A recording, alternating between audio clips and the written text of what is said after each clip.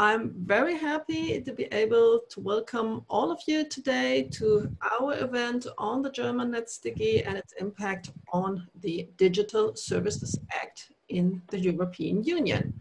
My name is Alexandra Geese. I'm a member of the European Parliament for the Green Group, and I'm the shadow rapporteur for the DSA Own Initiative Report in IMCO, and I'm the co-chair co -chair of the Green Working Group on all things digital. I'm very happy to have a co-host today, as always in the digital platform events. And today it's not a fellow MEP from the European Parliament, but it's a member of the German Bundestag, Tabea Rößner. It's okay. great to be here. Thank you very much. Tabea is the chair of the Greens Working Group on Net Politics and in charge of the NetzDG reforms for the Greens in Germany. So she will co-moderate today. I would also like to introduce immediately our great speakers. Uh, one is Lisa Dittmer. She is Advocacy Officer for Internet Freedom at Reporters Without Borders. And she has been keeping a very close eye on the reforms and was in close touch with its policymakers. Welcome to you, Lisa. Great to have you today. You very much. And the other speaker we have today, uh, I think she doesn't even need introduction the Brussels bubble. It's Julia Reda, as you all see, and she has served as a member of the European Parliament until 19 and will always be remembered for her great battle for uh, a modern progressive copyright. Then she was a fellow at Berkman Klein Center for Internet Society at Harvard University and at the Shuttleworth Foundation. And today she's project leader of Control C at the German NGO Gesellschaft für Freiheitsrechte. Very happy to have you, Julia. Thank you very much. Hello. So I would like to um, say a few words uh, as an introduction, because um, with the European Parliament's initiative report on the Digital Services Act being in the middle of its negotiation, we now really have started the process of reforming the e-commerce directive. And we all know that the Commission has been working on this for quite some time and is still planning to uh, launch its legislative proposal um, in December of this year.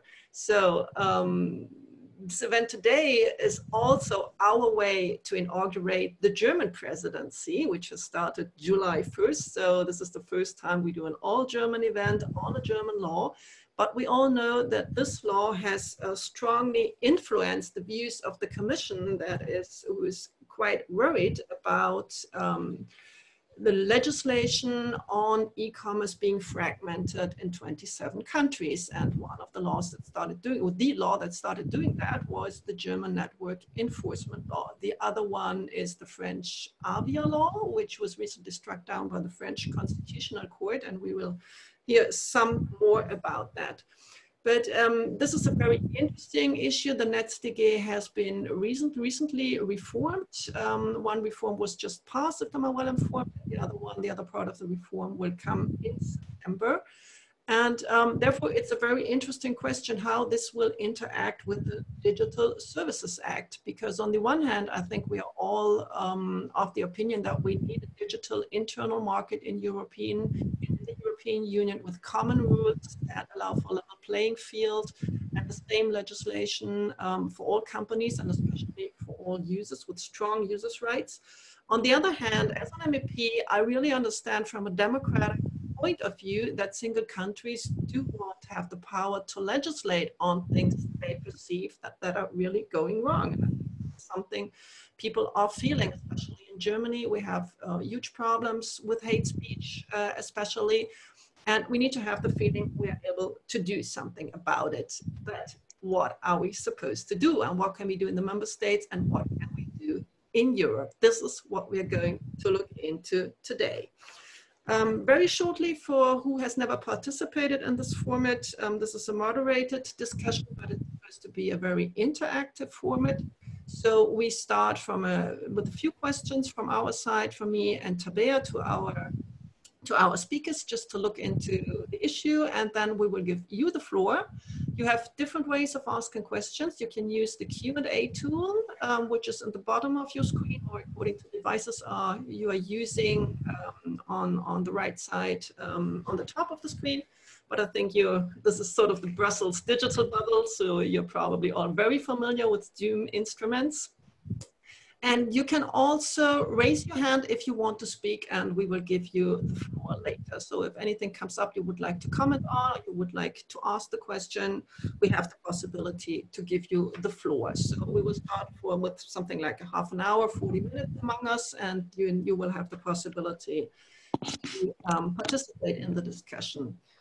The event is being uh, live streamed and will also be recorded and published on our website later. So please keep that in mind if you if your voice is heard or um, you're seen or you say your name, um, this will be recorded. If you don't want your name to be mentioned and you don't want your voice to be heard, just use the Q&A tool and don't ask questions which, for which I will give you the floor. Okay, so I think I can pass the floor to Tabea for the first question at this point.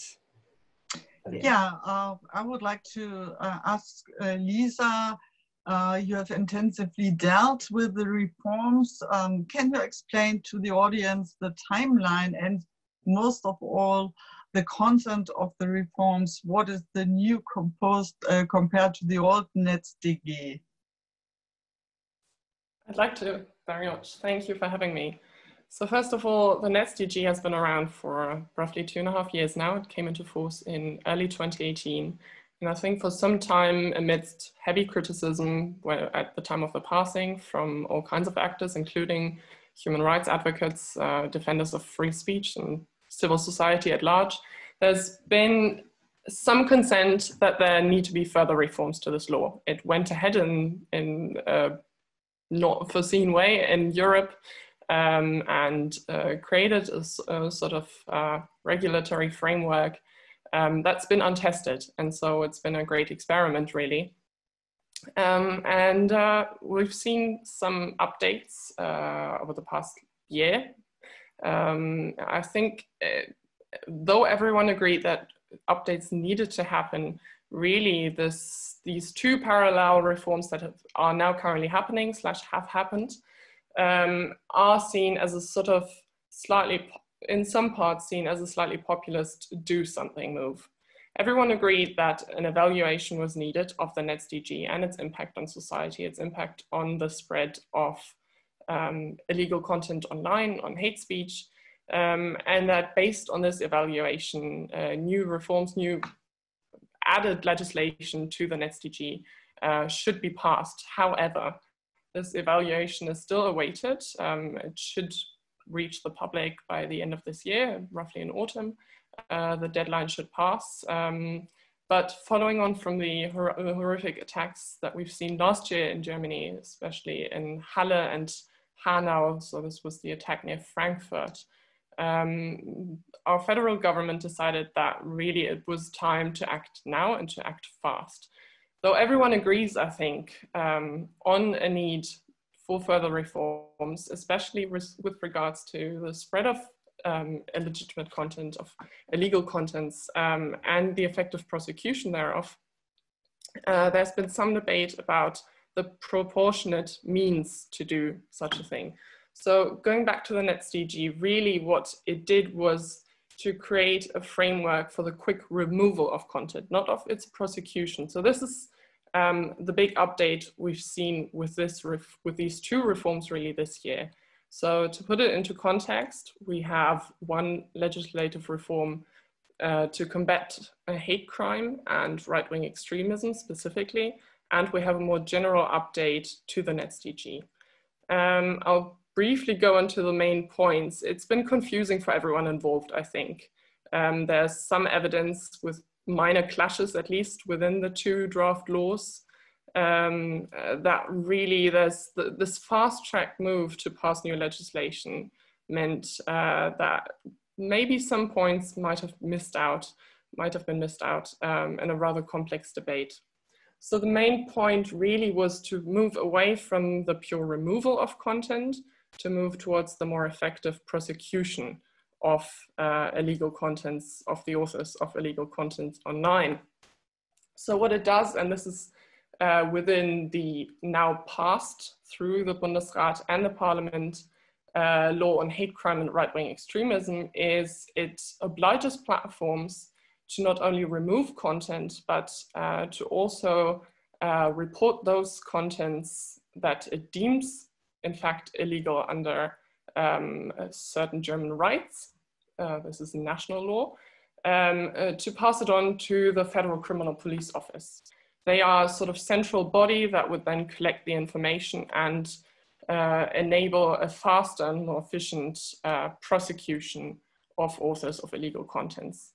What it also does is it means it's, it's really a sharpening or a further promotion of this idea that platforms should be obliged um, to qualify what is illegal content and to deem illegal content uh, as such, to understand the context, to not only moderate content, but also to do this initial decision or this initial assessment on what could be considered an illegal content.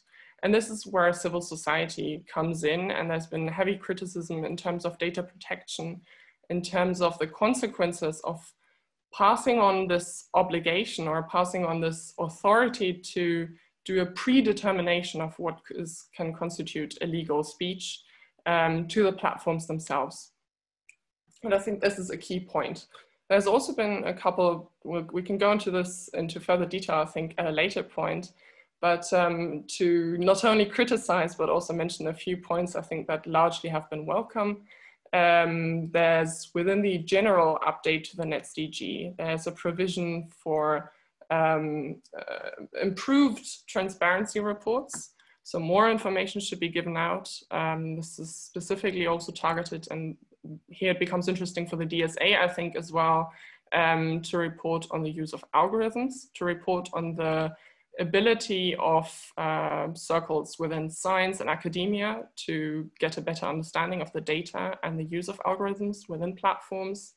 There's also been, and this has been a long time call from civil society and free speech advocates, um, a mechanism to reinstall or reinstate contents um, that were in fact deleted based on an, illeg an illegitimate uh, decision. So to appeal, users have an ability to appeal if their contents were removed and to um, have this rechecked basically. And ideally then, this has been a civil society claim, um, legal contents should be reinstated so as to uh, combat the effect of possible overblocking. And I think this is sort of the main points, but maybe we can go into this uh, in some further detail at a later point. Um, obviously, there are lots of points to consider, anything from the transparency reports to effective means um, of appeal um, to the balance um, of interests and incentives that these laws set for the platforms um, to the role of AI in the future of platform regulation and content moderation. Um, and yeah, I think uh, it's been complicated for everyone involved. Uh, there was much dismay, I think, at the speed with which uh, at least the first law, so this is the law on right-wing extremism and hate speech was passed. Now, even before the summer break, it was a very fast process. Um, and I think we can agree that some of the very valuable compromise proposals that there were also from the Greens um, have been neglected and should have been dealt with in more detail and should maybe have uh, held a bit more consideration within this process. Um, so we'll see where we head on from here. The general update to the NetzDG should be passed by Parliament um, after the summer break.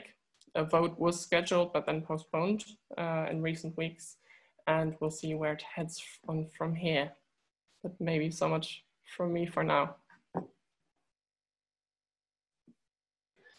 Thank you very much, Lisa. That was a very helpful introduction. Um, I have a question for Tabea. So what was the green point of view on that? What were your main points of criticism or which were the points you also advocated and you, you're supporting in this reform? Um, I, I muted you. You have to unmute yourself. I would like to ask everybody who's not speaking to mute themselves. Okay, here you are, Tabea.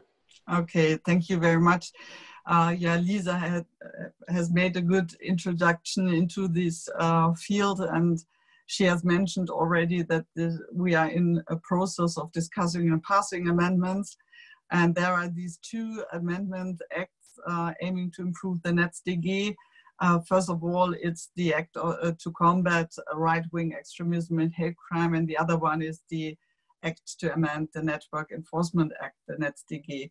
Um, the act to combat right-wing extremism and hate crime already passed uh, in the German Bundestag just before the summer break and makes uh, amendments not only in the uh, uh, NetzDG, also in other laws like criminal laws as well.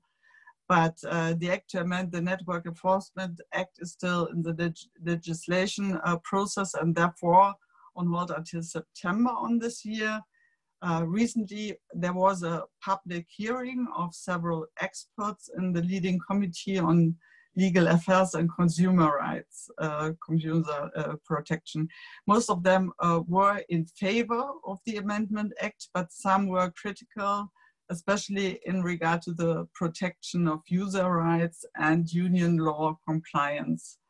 Um, the parliamentary group of the Greens um, in the Bundestag wants all platforms to take responsibility when it comes to illegal content and we want to find an effective solution which does not harm civil rights uh, like freedom of speech, uh, informational self-determination and uh, data protection, for example. Um, our main demands are we need a comprehensive concept which includes, for example, a special task force for right-wing extremism uh, we have to install and improve central organized information centers where victims of hate crimes can easily report incidents. Um, the act to combat right-wing uh, extremism and hate crime ensures that uh, social media companies have to proactively report potentially criminal content on their platforms to law enforcement agencies like Lisa mentioned. We criticized in particular the planned notification procedure to limit the data transfer from the platform to the Federal Criminal Police Office. We preferred a two-stage notification procedure. At the first stage, uh, the general facts about the case are sent anonymized to the Federal uh, Criminal Police Office. If they uh, decide that there is a reasonable cause to open in investigation, the personal data of the suspected perpetrator is transmitted at the second stage to the Federal uh, criminal police office so it can further investigate the specific case. To prevent mass data retention, we suggested to shortly quick freeze the personal data. So um, after the investigations is finished, the Federal Criminal Police Office should in general delete the data they receive from the platforms. Um, the draft uh, to the act to amend the Network Enforcement Act, um, the current draft law to amend uh, the, the act still suffers from uh, severe deficiencies. As uh, the European Commission already stated within the notification procedure for the act uh, to combat right-wing extremism and hate crime, uh, I am convinced that the NetzDG will still infringe upon European law. To be more specific, uh, it infringed upon Article 3 of the current e-commerce directive because it does not specifically say that it only regulates platforms which only operate in Germany.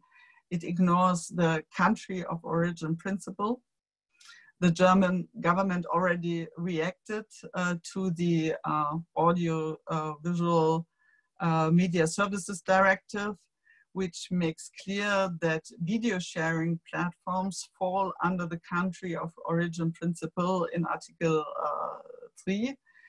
Uh, this leads to the hilarious fact that YouTube and Facebook are currently not under the legal scope of the NetzDG. Uh, by the way, we had the same situation with the Medienstaatsvertrag, the interstate treaty on media. Here too, the European Commission stated that this new German treaty on media infringes upon European law. But uh, on a side note, this is this treaty also includes useful proposals about the regulation of social media platforms and other platforms. It is, in my opinion, worth to have a look at it in order to gain some insight for the discussion around the Digital Services Act. Another criticism about the new Network Enforcement Act is the supper protection of the rights of the users of social media platforms because they do not have a substantive legal claim to put back content which was deleted on false grounds. There is uh, too much responsibility left on the side of the platforms who follow their own private business and uh, political interests and are not impartial users are left alone to efficiently enforce their rights, which can be hard when you have to sue a platform in court for your right to have your content to be uh, put back up. Yeah. So uh, we always called for a put back procedure for uh, for this, uh, but this is, was unfortunately not yet implemented in the law. We also demand to put a platform in place where users can report their cases when they feel treated unfairly. We also want the data about such cases and the transparency reports by the platforms to be open for research proposals, for example, purposes. We demand the, that the German government has to ensure that the NetzDG is in compliance with European Union law and that it is in tune with upcoming legislative uh, priorities of the EU, like the Digital Services Act and other similar projects. Maybe so far from my side. Yes, thank you very much, Tabea. And um, you already said it needs to be compliant with the with the future Digital Services Act. Um, maybe Julia, you could comment a little bit on exactly that. So, in in which ways do you think these reforms can, could, should, or should not influence all the policy making around the DSA? How do you see that? And then maybe I have a second question, but can I also repeat that later? I think you, I mean, you're working for, for an NGO called the Society for Freedom Rights. And I think here fundamental rights are very strongly concerned. So if you want to make, elaborate a little bit on that, we would be very happy to hear that.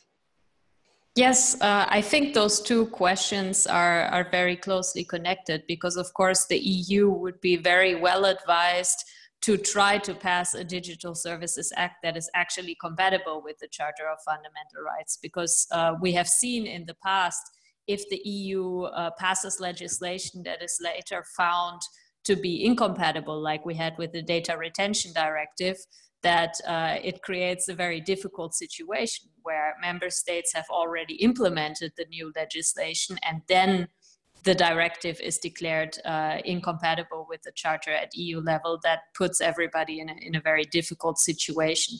So um, perhaps, uh, therefore, it's uh, useful to look at what happened in France with the Avia law as a cautionary tale, because in a lot of respects, the Avia law was a more extreme version of the NetzDG. So um, uh, when the Avia law was declared unconstitutional in France, what the judges pointed to was uh, that the decision about uh, the illegality of content is made by the platform and not by a judge, and that um, the uh, requirement to delete content in a very short time, so usually 24 hours, but in some cases even within one hour, uh, would lead to a situation where the platforms would always delete when in doubt, which would violate uh, freedom of expression.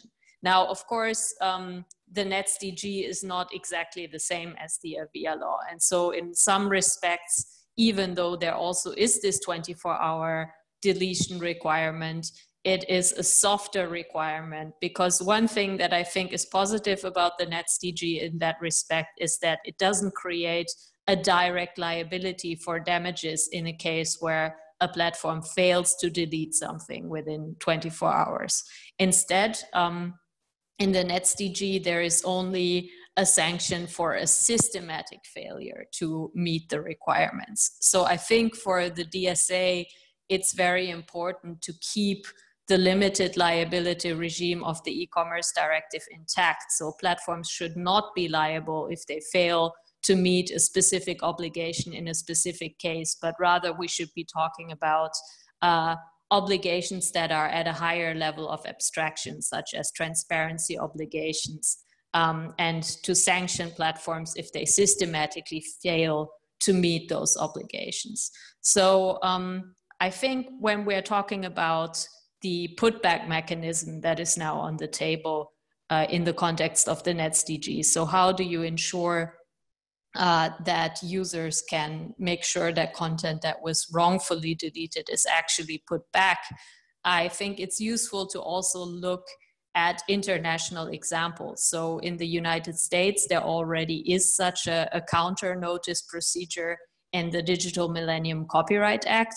And uh, there we have found that quite often uh, it is not used. So even when legal content is deleted, very few users make use of the counter notice procedure.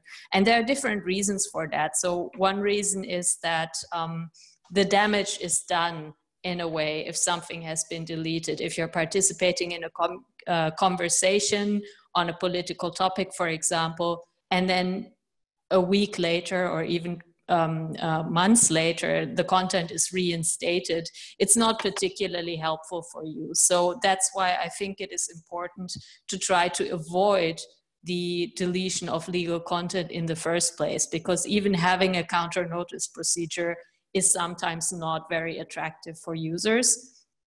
And the other element that I think is very important is to make sure that users don't have to fear using whatever counter notice procedure. So in the case of the US DMCA, there is the problem that using the counter notice procedure can create additional liability for the user. So people are afraid to make use of their right to have legal content put back. So that's something I think that we should be very uh, careful of when we're looking at the DSA. Um, one area that is perhaps helpful from the NetzDG uh, but needs some improvement are the transparency obligations. So I think it would be helpful for the DSA to look at how the transparency reporting requirements have worked under the NetzDG and how they have not worked. So for example, one thing that I found very interesting is that um, if you compare the German transparency reports of Facebook and Twitter, Facebook records drastically fewer cases of complaints under the NetzDG than Twitter does. And I don't think this is because people post fewer illegal materials on Facebook, but rather because Facebook deletes almost uh, anything on the basis of its terms of service. Uh, and um, this process is very intransparent. So one thing I think that would be helpful for the Digital Services Act is to require platforms to be more transparent about how they do content moderation in general, not just on the basis of the law, but on the basis of their terms of service. Um, because users will only be able to go against an arbitrary uh, application of terms of service or something like that if they know how the content moderation is actually working. So requiring platforms to be more transparent about how they do content moderation I think would be a good lesson learned from the NetzDG when we're looking at European legislation. May I ask you some uh, uh, because uh, you mentioned um, that there are only so few people using the mechanism uh, to put it back. Um, uh, do you know why there are only so few people? What is the reason for that? Um, it's of course a little bit difficult uh, to know for sure, but there are some very interesting studies that are trying to figure out whether uh, providing better information to users could be helpful. I mean, uh, since this is the area of copyright law, one problem is that people don't exactly know whether they have the right to use something or not. So if people are unsure about uh, the legality of the content that they are uploading, then they might be less inclined to uh, assert their rights and to try to have content put back. Um, but I think the main reason is because it's not very helpful to have content reinstated days later. If you're participating in a conversation and something disappears, then the damage is already done. And even if uh, it is put back later, that might not necessarily uh, repair the damage from the perspective of the user. So, therefore, I think it's very important to make sure that we don't create incentives for platforms to delete too much because once the content is deleted even if you have the possibility to complain the damage is already done in a way. May i ask another question? Because you uh, you uh, talked about the terms of service. And uh, we discussed this uh, in Germany if first the platform should check uh, if the content is um, uh, is against the NetzDG and maybe then afterwards the terms of service. So what do you think about this discussion? I mean, I think it sidesteps a little bit the problem. So under the NetzDG, um, the platforms have to do these transparency reports and uh, at least the way that Facebook has implemented it, it does not report about uh, blocking decisions that have been done on the basis of the terms of service. And therefore, now there is this discussion should the platform be required to test the NetzDG first? But I think if the platforms were required to do transparency report about their content moderation on the basis of the terms of service, then you wouldn't really have uh, this problem. Because, I mean, I do think it is problematic to require a platform to decide whether a certain content violates the law or not. Normally, this is a decision that can only be made by a judge. So, um, I'm not sure whether forcing platforms to always assess content on the basis of the law is not necessarily going to make the situation any easier because it is kind of a form of uh, privatized law enforcement if the, the platform then has to decide whether something violates the law or not. I think perhaps the better approach is to require transparency of how the platforms do content moderation and how many instances of deletion of content there are, regardless of whether it is done on the basis of the NetzDG or on the basis of the terms of service. Lisa, would you agree or, or what is your opinion about that? I think based on the work we do, we have contact with a lot of journalists internationally especially outside of the European Union, who obviously regularly have their reports, especially critical ones, taken down based on state authority requests that are obviously dubious. Um, but, you know, in the absence of transparency, it's very hard to demand concrete answers from Facebook, Twitter, and so on um, on which basis something is decided on. And we know from current cases internationally, from Vietnam to Egypt to Tunisia, um, that there's not enough transparency about the political pressure that these platforms are under, um, about the undue influence of state authorities on takedown decisions. Um, so really, I think in the long run, it is indeed necessary to have more transparency, to demand more transparency, based on community standards on how content moderation is done. But generally, I think part of the debate should also be to talk about the conditions under which content moderation takes place. Because uh, content moderators, we all know these days, we don't really want to talk about it too much, but we all know um, are often working in precarious conditions. Um, the alternative, which I think a lot of current uh, EU legislation is asking for, is obviously automation, which isn't really an alternative, whether we look at copyright or whether we look at the uh, current European uh, legislation or directive, draft directive on terrorist content, they all call for more automation. It seems the easy answer. It seems a nice way out from nasty working conditions for people who have to look at, well, the dirt of the internet. Um, but it's not really an answer because all all of these decisions are complicated ones. It's a complicated adjudication of what is what constitutes incitement to violence, what constitutes um, illegal speech, and these decisions shouldn't should neither be taken by filters who can't really make legitimate decisions, who can't really understand the context um, of a post. Neither should they be made within you know, roughly 30 seconds to two minutes, which is the time frame under which content, most content moderation takes place. So we are asking these platforms um, to make important decisions and to make an important contribution to public debate, which these days to a large uh, part takes place on these platforms.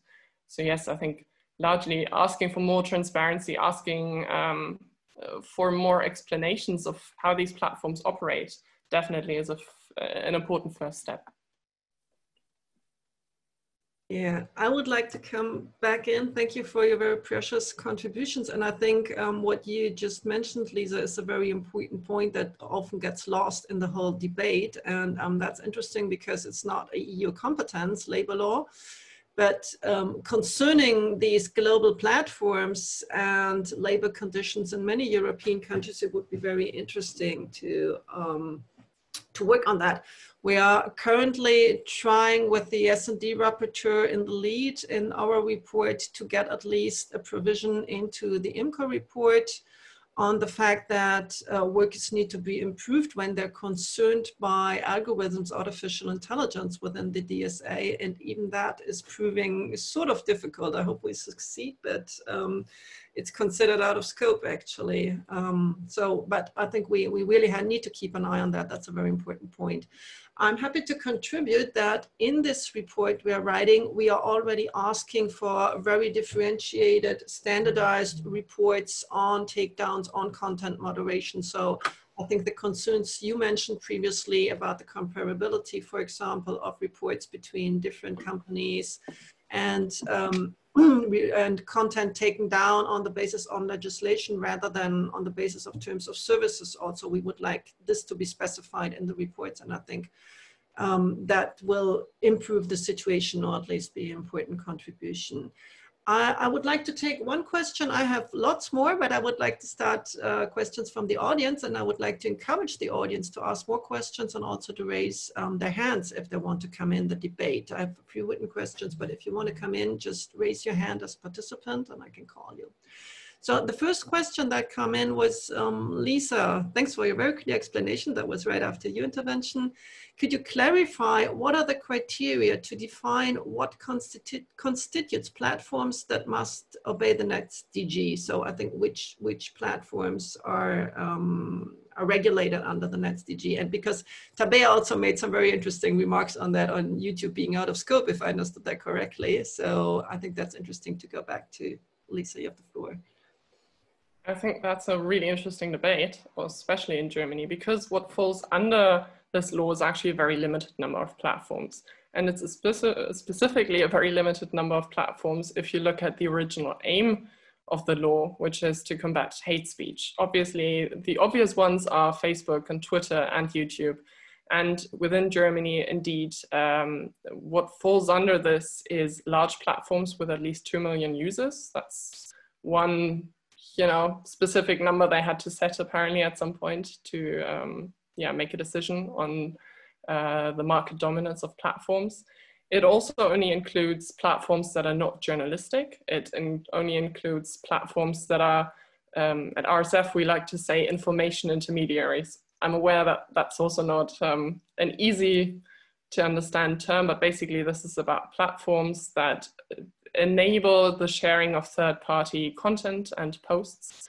Um, but yeah, it's a very limited number and it's specifically a very limited number because Facebook and Twitter are no longer necessarily the main platforms where hate speech and illegal content is shared.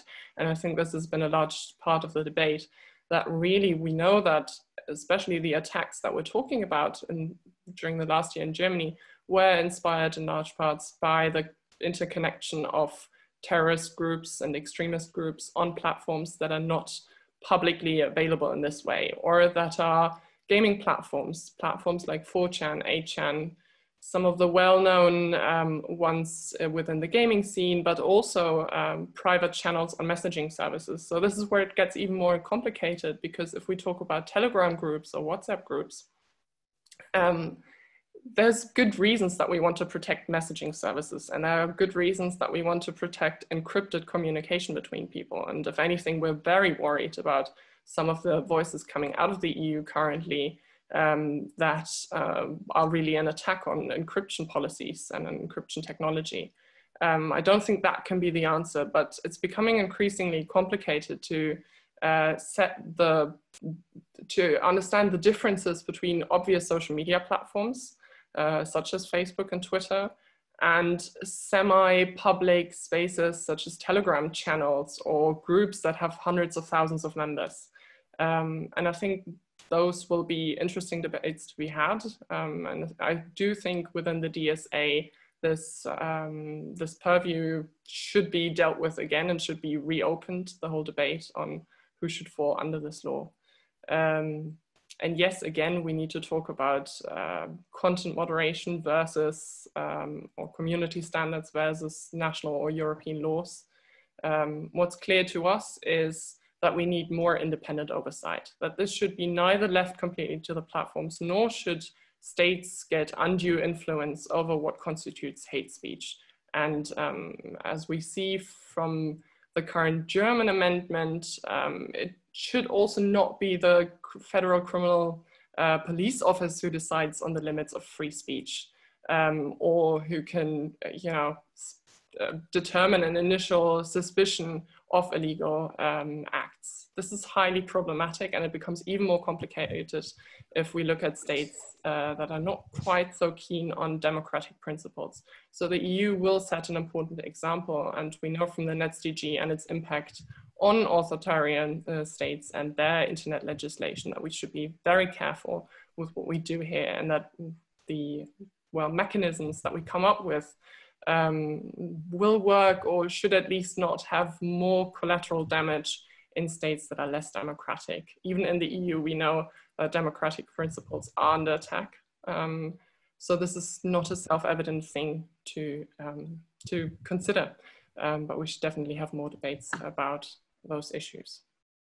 I if I could add to that last point because I think it's extremely important. Uh, one thing that a lot of Germans don't know about is that uh, authoritarian countries around the world that have passed internet censorship laws in the last couple of years have been explicitly referring to the NetzDG as a model.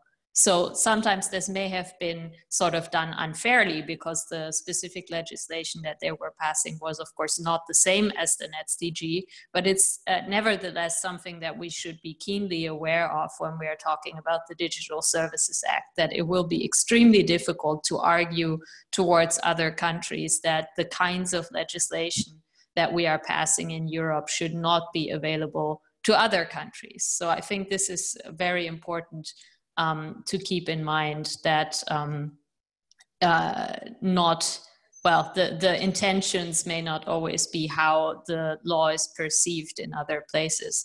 And uh, regarding the point about the police i think it's very important to highlight that uh, it has come to light in uh, recent investigations about far right networks in Germany that have been uh, committing acts of right wing terrorism or that have been threatening um, people that uh, they were sometimes getting information about their victims from the police.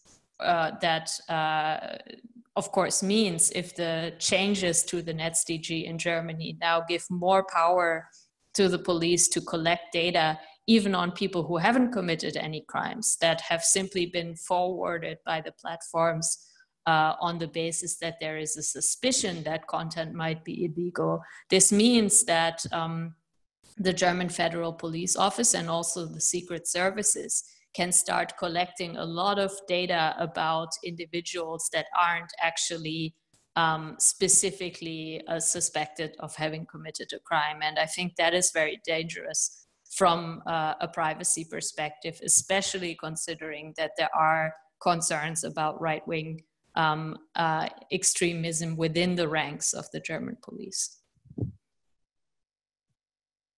Yeah, Tabea, do you want to add on that or can we pass to the next, proceed with the next question? Well, it's a thin line, I think, between, uh, um, yeah, going, um, or trying to to uh, to combat um, criminal, um, yeah, and on the other side, uh, to protect the freedom of speech and um, even in Germany, not only in the other countries, but it's also, um, yeah, it's a thin line and regulation is not very easy in this part.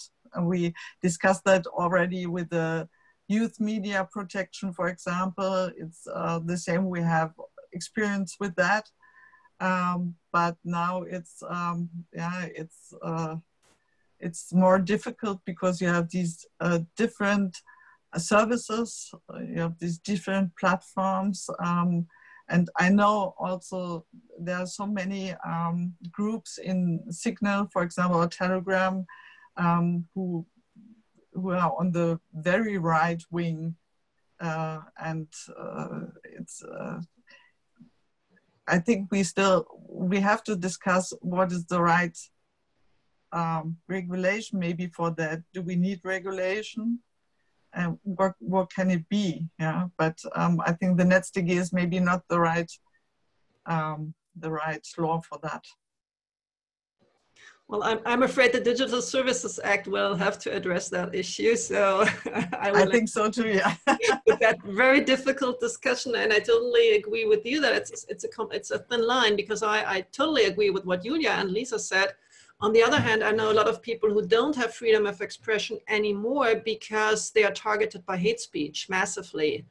And so they can't go online, they can't have a Twitter account, um, a Facebook account, they can't even go to talk shows on television and, and as experts on their matter, which they might be teaching in university or researching um, be because of the threats they receive, they and especially their families. And when you have small children, uh, you are quite sensitive to those kinds of threats.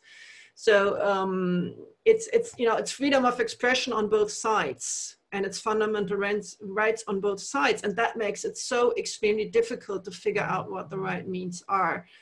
Um, I would like to, I, I, have so many questions of my own, but I, will take a few more questions from the audience. And then there's one from the audience that just got upvoted. Great, I, am very lucky because that was a question I was, I always wanted, I, I also wanted to ask. And the question is, um, why do we always only talk about illegal speech as such? Which focuses on what the users do. We should address what the platforms do, which is often promoting and amplifying illegal speech because it brings more clicks and engagement, which translates into advertising revenue. And I would like to add on that because this is exactly my point in this whole issue. And this is the point I feel has not been taken on board uh, in the report um, we've been working on. And I think it's, it's not being understood even in the bubble. Um, and the question is, don't we rather need transparency of decision making and algorithms, not only for automated content, uh, content recognition systems, as is foreseen in the NetzDG, if I understand that correctly, but also for recommender systems because I mean, the recommender systems, according to me, are really the problem. Because, um, for example, there was a recent article in the Wall Street Journal that says that 65% of the members of um, extreme right um, Facebook groups were directed to those groups by Facebook recommender systems. And I mean, there's, there's a lot of research on YouTube as well. So what I would like to focus on are those systems and transparency on those systems. So what do you think about that?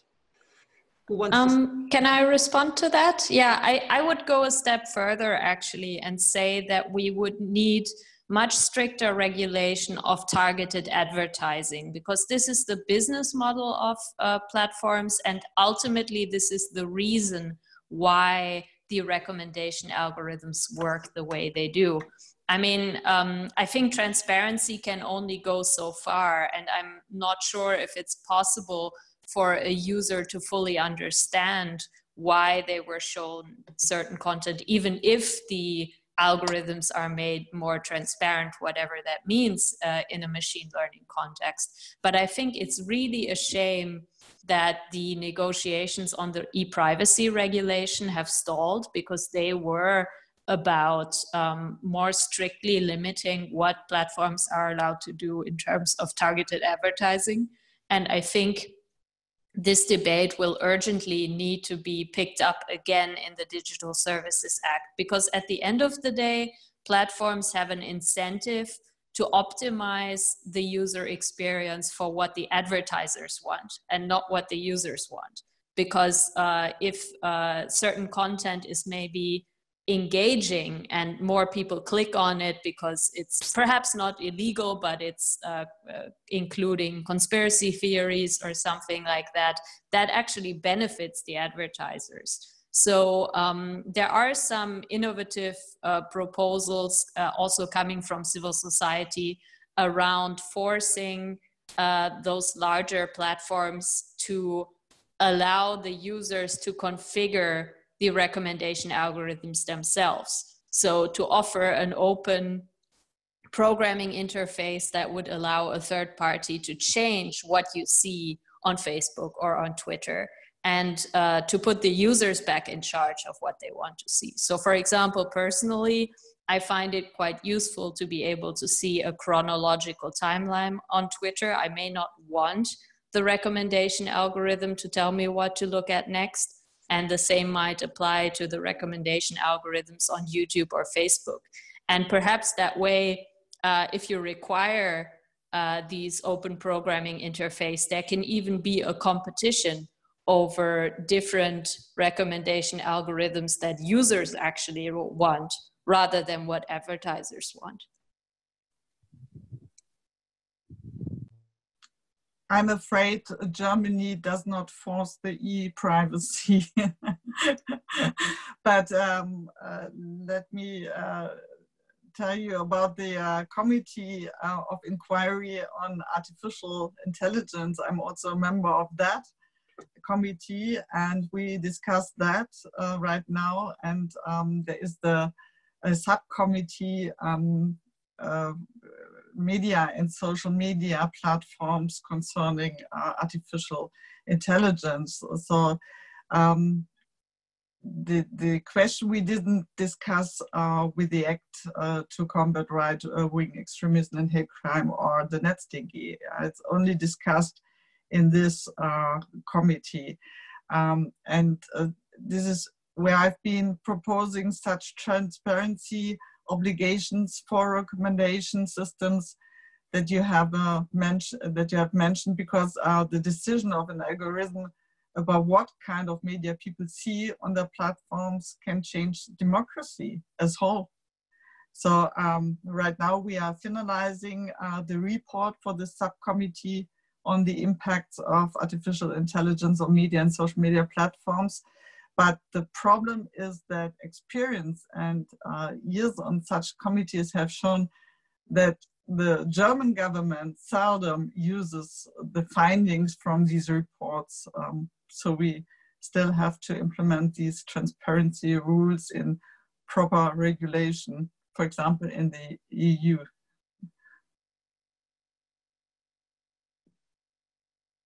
I think maybe to add just to add to this because I fully agree with what Julia said.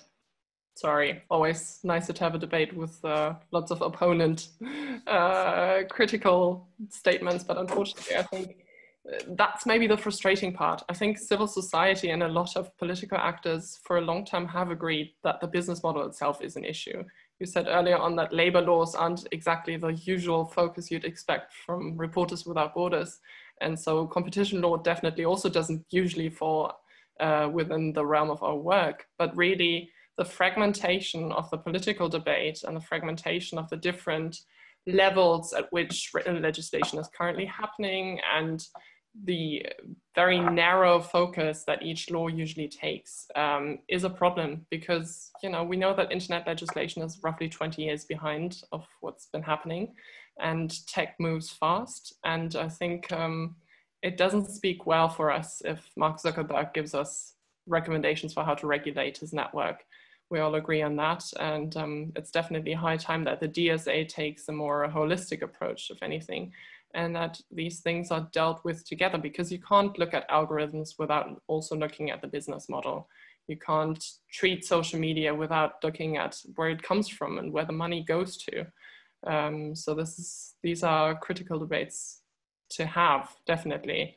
From a Reporters Without Borders perspective, because I'm also seeing questions here on where the attention of users is directed at. We're definitely looking at the question of, um, well, what are we meant to look at and what are we drawn to, to look at? Obviously, Reporters Without Borders cares a lot about the infodemic problem and the spread of um, false information and um, all of those issues. But I think a large part is indeed giving users more control, starting with an understanding of what algorithms do and how they interact with us, because we don't even have the science to base our policies on, and that's dangerous territory, I think. No one really gets the necessary access to understand how algorithms are trained to interact with us and to understand our decisions and then to manipulate our decisions. And I think you have to say it as hard as it is. Um, and so a first step would be to better understand these systems and to better understand how they interact with our thinking and our personal choices. A second step is to give more transparency to users about how their data is used and abused um, and how it's sold on. So all of these issues come in. Um, and then also giving users understandable choices for what they can do and to also deny algorithmic decision making within their feeds, for example. Um, I think those are all critical points.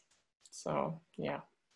So there's one comment uh, uh, I would like to read. Addressing targeting advertising is not enough. Even with completely neutral advertising platforms would still push content that is more engaging. User control over algorithm is a great idea, but what should be the default? What should it be uh, optimized towards? Do you have I an think, idea for that? I think that's a difficult question. I mean, I understand uh, the problem that most users will not change the default settings. So, one thing that I think could help with that would be to um, allow third parties to create alternative user interfaces that can then compete with each other because the vast majority of users will not be able to kind of you know uh, program their own recommendation algorithm. That's certainly not realistic. I think in terms of the default personally i can't think of any default that would make sense other than chronological I mean, this is kind of where Twitter and Facebook started, would be that um, you see content that is coming from your contacts within the, uh, the social network and that um, by default the this content used to be chronologically ordered.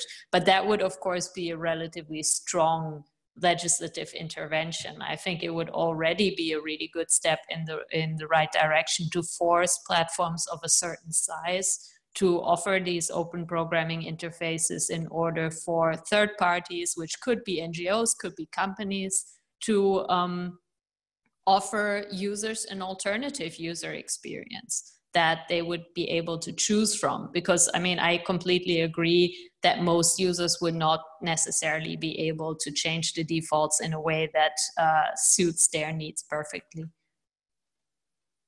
Yeah, thank you. Um, I, I, think that as well. I think we need some kind of solution for, for the great majority of people who just want to use the platforms without thinking too much about it. It was just like some, some exchange and some information without putting too much thought in that. I would like to, to step out just for a second out of the moderator role and give you an update on what's going on in Parliament and, and in the Commission, um, because you touched a few questions that we've been discussing as well and that you might want that information. Um, for example, on competition, Lisa, you said we need a more comprehensive view of lawmaking in order to tackle different aspects at the same time, even if they fall under different committees or ministries or whatever. And um, the Commission has put a lot of thought in that. And um, I think the, the current state of affairs is that there will be a second uh, legislative proposal um, sort of attached to the DSA, but um, standalone um, on competition issues um, in the digital sphere that would tackle all those competition issues linked to the to the great platforms. And within the DSA, we are discussing um, particular obligations for uh, systemic platforms or dominant platforms. I mean, there's a lot of discussion going on around um, the definitions as well but there will be the more fundamental rights and e-commerce and users rights um, related aspects practically in one package and then the competition issues in the other package. And they have to go hand in hand um, to be effective i think. So that's that's being addressed.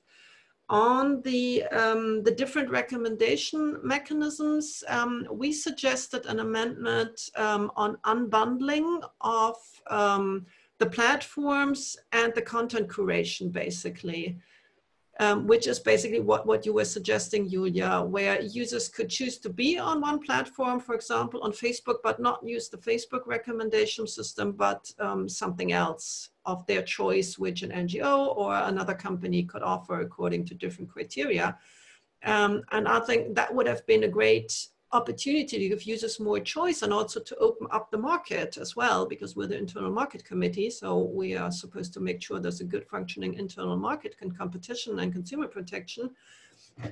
And that was, um, that was rejected by the other parties. I don't know why, I haven't really understood. I think maybe the idea wasn't quite understood or, I mean, there is the possibility, the very remote possibility that the huge platforms did a lot of lobbying. I wouldn't um, know that. Might did you did you propose it for all platforms or just for the large ones? Because uh, perhaps that would be a milder. Ones, for the yeah. ones, the ones considered systemic. I mean, I could I could see where why people might think this is too harsh if it applied to small platforms, because of course there should be the possibility to have an easy market entry. But for the really large ones like Facebook, I really don't see a problem. I think it would actually help competition rather than hinder it. Yeah. What we do have in the report is um, a lot of transparency provisions on ad tech and the possibility uh, not even to opt out, but to opt in especially. Um, so you have to opt in if you if you want it. Um, I think that's what's pretty good. The interesting thing was that in the meantime, the plenary voted uh, a complete ban of micro-targeting in a resolution on competition which I think in the first days sort of passed unnoticed because um, the colleagues from the Economic Affairs Committee uh, were in charge of that and not the digital, digital people. So we basically voted on this very large framework. And there was this one line on a ban on micro-targeting in there, which in the beginning we hadn't even noticed. So actually, currently there is a parliament position on a ban um, of micro-targeting, which I think is interesting, but I'm not sure it's going to hold up if that issue is really going to be at the center of the debate. So just on what's going on in Parliament, but um, I still would like to see a very strong um, obligations on for transparency um, of the algorithms and the whole decision-making process. And this is what we have in turn um, in the report on ethical aspects of um, artificial intelligence that was voted in the IMCO committee um, the day before yesterday. So we have to look into how this is going to link to the Digital Services Act as well. And that's going to be a very interesting issue too. I would like to come back to a question from the audience and add a little bit to that. Um, the question is pretty long, but it's about supervision and oversight. And then we could come back also to the question of European oversight and what should it should look like. But I'm going to read out the question. And thanks to the audience for the question. At the expert hearing in the Bundestag on the NetzDG, the problem was raised that there are conflicting views on responsibility for the supervision of platforms in Germany. Is the supervision of platforms and their content the task of the media supervision of the federal states or the task of the telecommunication supervisory authorities or other federal authorities? So that's very German. um, which authorities should control the work of the platforms and the content distributed through them. In particular, the content which is not already punishable, but is nevertheless distributed illegally. For example, because it doesn't comply with the law on the protection of minors or consumer protection. That looks like a question to Tabea, who's probably an expert on that. Not sure um, if anybody else wants to answer. But I would like to, um, to use this um, opportunity to also ask to the others the question, um, what kind of European oversight do you think there should be for the Digital Services Act? This is more the German part of the question, but I would like to, to add the European as, is, uh, aspect that I think Lisa mentioned in her introductory remarks, and that is obviously very important for us. But I would like to give first the floor to Tabea, because I think you are the one who understands the complete the complex proceedings of German law on, on media and digital. And it's very complicated because in Germany we we have federal uh, competence in media. Yeah, uh, so uh, the states are responsible for um, the the content um, and regulation, and they have also authorities, but they are not very powerful. Um, and now they have um, with the NetzDG um, parallel stru structures of authorities like the Bundesamt for, Justiz, uh, for Justice. And uh, that is uh, one problem that um, there are so many actors and they don't really work together. So um, I always uh, say we should have a consistent and co coherent um, regulation and also uh, a work together of these um, different uh, institutions. And for example, um, the Landesmedienanstalten, which are responsible um, of, yeah, which is the authority on the federal um, level, they have also this uh, group, this uh, how is it in in uh, I'm looking for the word in uh, in uh, in English the ERGA what is um, what is the ERGA in uh, in English? Do you know that Alexandra? I think it's the I, I don't know the exact name but it's, it's European regulators group of audiovisual media services I think. So uh, not many people know this this um, uh, this European regulators group, but um, I think maybe they should get more power uh, also to uh, to act and to force uh, platforms maybe, or we need another agency on European level. Who wants to come in on the on the question on the European agency? There's an extensive debate going on on that in the parliament. Any opinions? Julia, Lisa?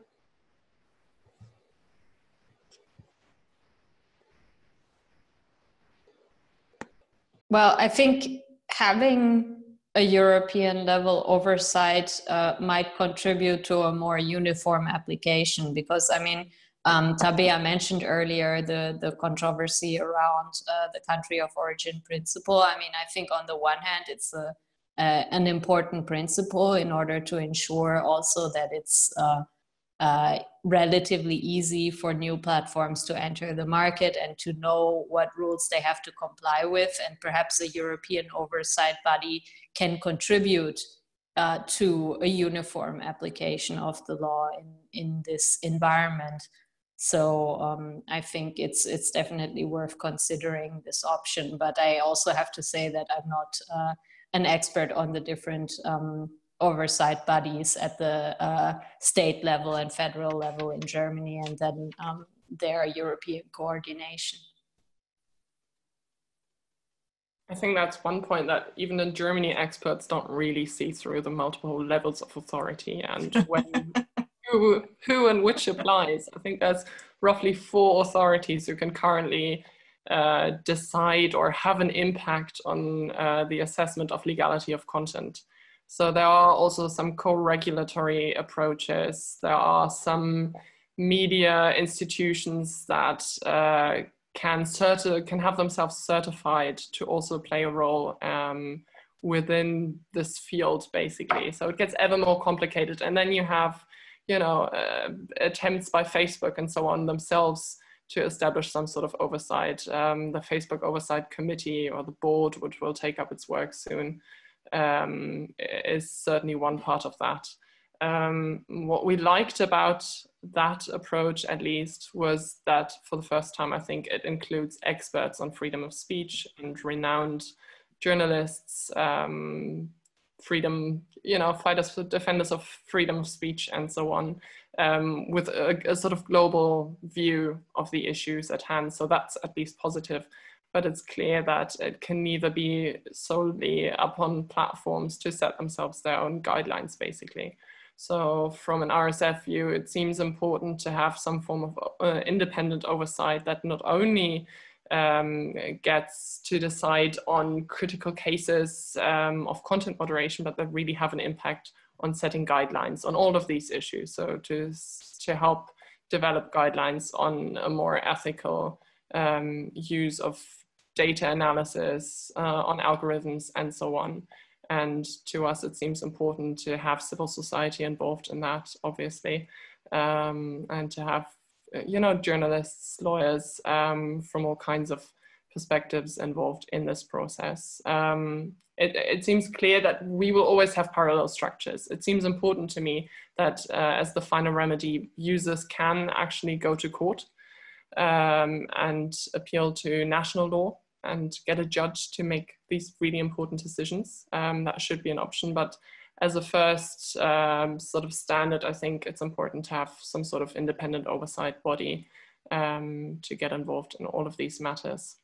And it should happen on a European level, that much seems clear, because to stand up to these platforms um, and to get proper interest from their, from them and their representatives, I'm afraid, um, it will have to happen on a supranational level. And um, especially looking at what's happening in some parts of Eastern Europe, I think it's also from a democratic safeguard point of view, um, it should be in our interest to have a European answer and to have a European body um, to, to represent users in general. Um, I have. I would like to jump in here. I have more questions from the audience, and but we still have some time. Um, I have a question that's really related to what you just said. Um, I'm, I'm a strong advocate of European oversight with enforcement powers because I think a law is only good if you can enforce it. And we are seeing with, with GDPR that we have great legislation and it's doing good things, but it's if it were enforced as it should be, it would be even better and we might not have some of the problems we are, we are experiencing. So I'm a total advocate of European oversight at European agency, but that doesn't seem to be the political majority at the moment. I think we need to discuss this further.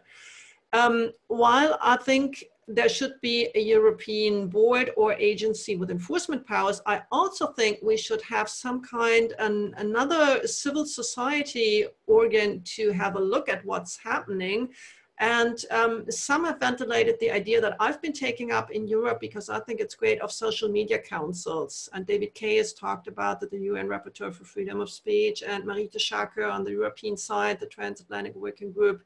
And I think it's a great idea that we should really work on more um, in, in Europe.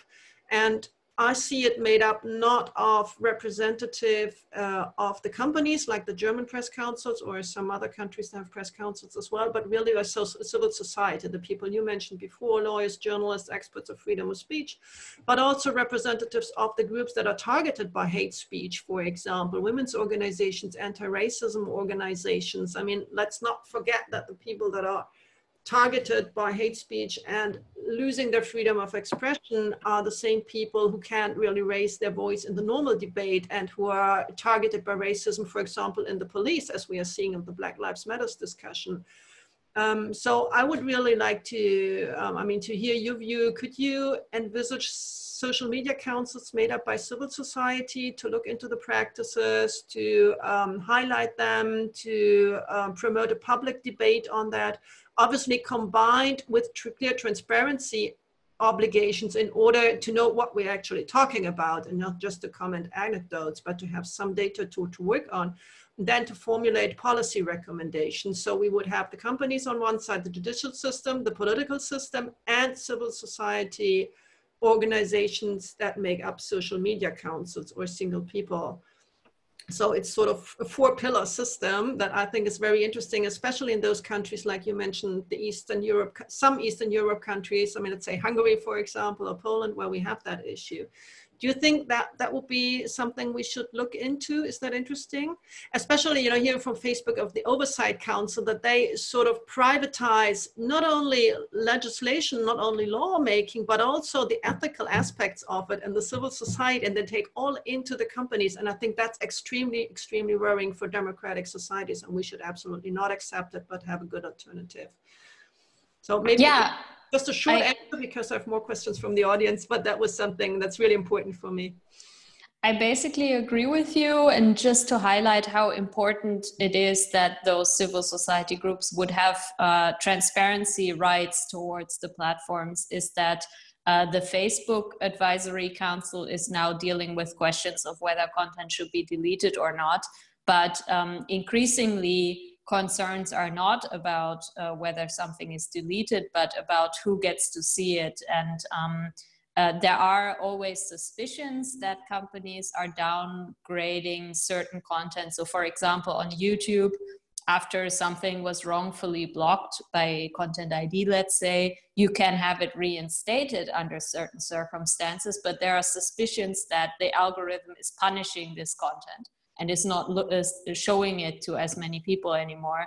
Um, and uh, these concerns are even more uh, rampant on TikTok, for example, where there was even some press reporting about uh, TikTok uh, asking people to downgrade uh, specific content, for example, from the LGBT community or uh, um, other marginalized groups. But uh, if you don't have access to that information about which content gets downranked, then it is a lot more difficult for such let's say, a civil society, social media oversight body to do its job. So I think the information provision rights are extremely important for the independent oversight to be able to work. If you don't know that certain content is being downranked, it's very difficult to discuss whether it's appropriate or not. I think it's uh, it's a good idea because in Germany we we discussed that um, for many years. Uh, the media regulation and the media policy um, is in the um, in the in the states. Um, so the Ministerpräsidenten, uh, the presidents of the states, uh, they uh, discuss it and they decide of course, it goes to the state parliaments also, but every regulation yeah, is made up in the back rooms of the staatskanzlei in Germany. So that's why we discuss all the time how can we have um, uh, more transparency and another level on um, regulation and uh, discussion, public discussion about that. For example, in uh, in Great Britain, they have the Ofcom, which is also a board um, with experts, um, not only um, not only politicians, there are also uh, scientists. Uh, I don't know if there are so many uh, NGOs, but of course there are people who can apply for um, being member of this board from the civil society. So um, I think we need more discussion, public discussion about media and about what what it does, what, what how platforms work, how um, how you are influenced, manipulated, or whatever, and um, what is the best way to do so. I think something like kind of agency or uh, board or um, yeah, with with a lot of um, civil rights uh, organization is very important for the future, I think, because we don't know what kind of models, uh, business models come up, uh, what what we will have for um, um, for chances and also for um, Herausforderungen. Um, yeah, sorry, sorry, my, my English is not so good. Great. okay, I'd like to take some more questions from the audience because we have to stop a few minutes before two o'clock sharp because um, some of us have other commitments and there's Chancellor Merkel speaking in the plenary. Um, so um, are two questions I would like to take together. Um, one says the NetzDG has been described as a Terms of Services Enforcement Act. How should the DS DSA be drafted to prevent platforms from retreating into their terms of services, which set thresholds for illegality much lower, which is a very um, relevant question we are also dealing with. And then I would like to add a second question that's a little bit different. It's more from a, from a democratic um, theory of, of democracy point of view, but it's also a very basic question, sort of related to that one. And that it says there's a basic democratic principle that lawmaking powers and judicial powers should not be in the same hands. How do we avoid the private platforms that are central for the access to information and discussions be both the main free speech lawmaker through their terms of services, so that's how it reconnects to the previous question, and the main judges of the content they host? And this is one of the really crucial questions, I think, for the Digital Services Act. Um, how would you comment on that? I don't know, Julia, Julia? Lisa? Sure. Um, so I would say, first of all, to avoid that everything is done on the basis of the terms of service, we should drop the negotiations on the terrorism regulation because I think uh, it, this is a piece of legislation that really goes in completely the wrong direction, not just um, encouraging platforms to use their terms of service, but even helping platforms to enforce their terms of service. So privately made rules with public entities, which I think is really uh, the wrong approach. I think one way that you can uh, try to influence uh, in the other direction is to make sure that users have procedural rights when it comes to deletions on the basis of terms of service. So um, that I think would be helpful as, as a step to somewhat counter that trend. And at the end of the day, I think we have to um, not be complacent and we have to be honest about the fact that at the end of the day, there are going to be a lot of cases that are not obviously infringing or not infringing. And at the end of the day, the decision over the legality of content has to be made by a judge. And therefore, we should also look at other means of uh, supporting groups, for example, that are that are targets of hate speech online. So supporting counter speech initiatives um, and uh, things like that, and also um, perhaps the education among law enforcement around issues such as uh, gender-based hate speech uh, and gender-based violence, because um, I don't think that simply putting platforms in the position of being the the judge uh, over what is legal or what is illegal is going to solve the problem that women have difficulty participating in public debate because of all the um, the sexism that uh, they are exposed to uh, online. I think that is more of a societal issue that we have to uh, uh really tackle holistically and also tackle within our uh, well, tackle any kinds of discriminations that are that are inherent in our law enforcement system. So not look at uh, the Digital Services Act primarily through a lens of how can we make sure that crime doesn't happen on the internet. I think that is uh, an unrealistic ambition, and it could also go in the wrong direction. Uh, for example, if uh, if we are talking about things like um, encryption. I think the the benefits for uh, journalists, for fundamental rights defenders, and people standing up to authoritarian regimes worldwide of being able to communicate uh, through encrypted and safe means are so much bigger than any kind of uh, concerns around, uh, let's say, conspiracy theory groups on Telegram. That it's really, really important that we don't uh, go too far in, in the uh, direction that out of fear over crime on the internet, we end up uh, exposing fundamental rights defenders uh, to uh, oppression. Thank you. Anybody else on the terms of services? Lisa? I can see that we're running out of time, so I'll keep it very brief. But yes, basically, I think the ideal here is that uh, the large platforms are held to international human rights standards and that they are held to international standards of free speech because currently they're finding it way too easy, especially in lesser democratic states worldwide, to refer to national laws um, as the actual problem and not their obligation to uphold um, well their democratic obligations to us as users. Um, and I think you know fundamentally, I think the tide has turned, and we're now currently mostly talking about um, all of these issues, and they are very real changes, challenges, um, hate speech and extremist content. But by and large, what it comes down to is that Facebook and all of these platforms, despite all the challenges, have created spaces of debate and free speech that are massively important and that add to our world and we should preserve that bit and we should definitely hold them to account to preserve this ideal rather than work out how to sanitize our internet. Um, so yeah, if you want a really, really quick answer, I think it comes down to a good balance on that side.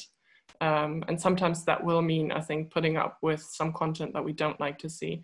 Um, but yeah, I think we've touched on a lot of the cornerstones of what needs to be improved from well the business models to um, how to deal with algorithmic decision making of the future. So yeah, lots to talk about still. Um, that that would have been a perfect conclusion, but I have one more question that's really interesting. I'm so sorry. um, very quick, just a very quick round of answers. Um, tackling the business model, someone suggests that the platforms should be forced to send users information about how much revenue the data generated to incite more choice and more user-focused alternatives. Do you think such measures, measures could be included in future legislation and help enforce NetzDG reforms? Any opinions of that? Should the platforms tell users how much money they're making with their data? I think that's a really. I think I think that's a bad idea. I think it's not helpful to talk about data as a kind of an individualized monetary resource. I think that we had that discussion in the context of the GDPR, and we found that data is not property, it's not a commodity, but rather data protection is a fundamental right. So I don't think that approach is very helpful. Anybody else? I mean, I've seen lots of attempts to make people just, I think the idea is to make people aware of what's happening, of the business model and how we should talk about this. I mean, someone called this a fringe topic we're talking about today. It's not. It, it goes back to how we communicate in the modern age and how politics is shaped. So this, these are fundamental debates that people should be much more aware about and should have debates at their kitchen tables about. Um, but yes, again, we can't live in a world where suddenly everyone finds it okay that if there's the right price to selling your data, it'll work out. We need to have a, a much more general debate about um, whether this is ethical at all and how business models uh, can work out and how Facebook can sustain itself um, in a way that does not mean we all commodify ourselves and our thoughts and our debates. Great. I think Tabea wants to answer, but I have a different question for you, where that is also very important. So you have the last word. Um, has the NetzDG had a positive effect in terms of less hate speech online? And this is what we all want to know, really. Does, does, does these laws work or not? That's a good question. um, the, the problem is there's not so much research about that. And uh, um, the reports are not um, the same size, so you cannot really compare it. Um, I think it's uh, it does not have this effect uh, right now.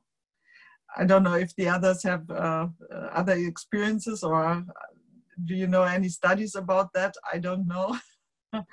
but I think um, no, not really, and that is the problem. Um, we have this regulation, um, but um, there are still so many problems with it um, that so many people, for example, don't uh, complain about that or don't go this procedure because it's so complicated and stuff like that.